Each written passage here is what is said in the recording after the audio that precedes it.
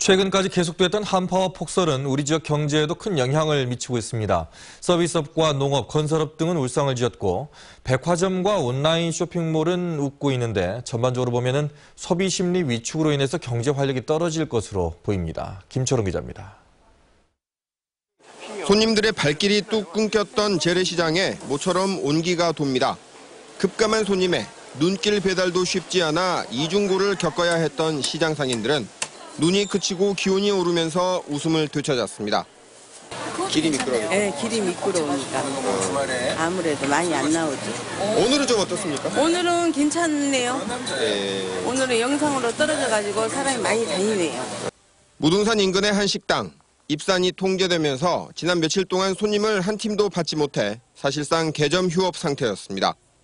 우리 사장님 여기 가게는 뭐 얼마나 매출이 그죠? 매출이라고 하면 안 되죠. 아예 손님을 못 받은데 한 팀도. 반면 백화점 아웃도어 매장과 대형마트, 온라인 쇼핑몰은 매출이 크게 올랐습니다. 이 백화점 아웃도어 매장의 경우 방문 고객보다도 온라인 주문이 늘면서 매출이 오히려 많아졌습니다. 나오시는 분 힘드신 부분은 온라인몰 부분이 있기 때문에 온라인몰과 동시에 전개됐던 것이 매출의 큰 폭으로 상승했던 부분입니다. 통계청은 한파와 폭설 때문에 농산물 가격의 변동이 클 것으로 예상하고 있습니다. 명절 2주 앞둔 상태에서 이제 물건 재성품 많이 살아 나오면은 좀 물가가 더 올 가능성이 있어서 그런 부분에 대해서는 지금 거의 매일 점검을 하고 있는 그런 상황입니다.